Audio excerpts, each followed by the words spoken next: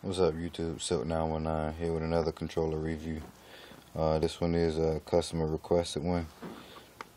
Uh, he wanted to uh, keep the same, you know, regular black um, controller.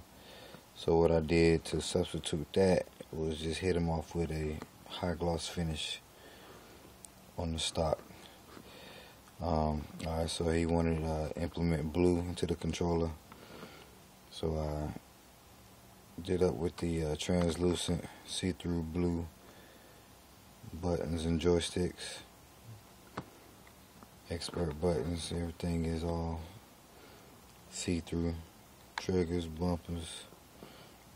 Uh, this goes well the color with the factory uh, DualShock 3 logo and Sixaxis. Alright uh, he also wanted LEDs in there, so I did hit him up with the blue PS button. And also, I have this uh, rumble activated through the D-pad. So as y'all know with my other videos, especially the uh, Tiger Strike, this is set up the same way. So when you control the rumbles, LED goes off Pretty cool feature.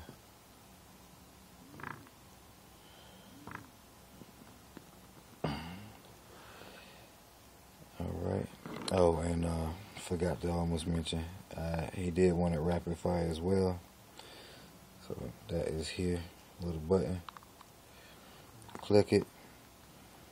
Play for indicator will blink, letting you know the status is active. Click it again. Turns it off. Simple as that. Nice, sleek, custom controller. Silk 919. I'm out.